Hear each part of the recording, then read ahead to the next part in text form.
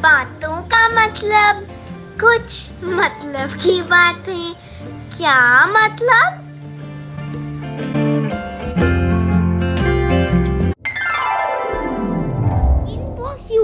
by Radhya Nair.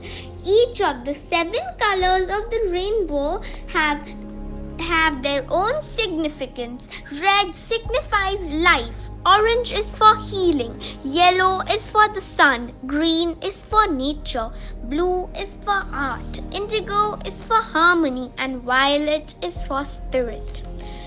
The rainbow flag is also used for many social movements. For us to see the rainbow in the sky, the sun and rain both have to be present. In a raindrop, when the sunlight enters and bends in a particular angle, then it then it creates an arc of colors which we visualize as rainbows. Rainbow is the arc of God, which shows his arms so colorful and wide. He says, No matter what happens, I will always hold you tight. Means God will always help us in our difficult difficulties. Thank you by Radhya Nayyar.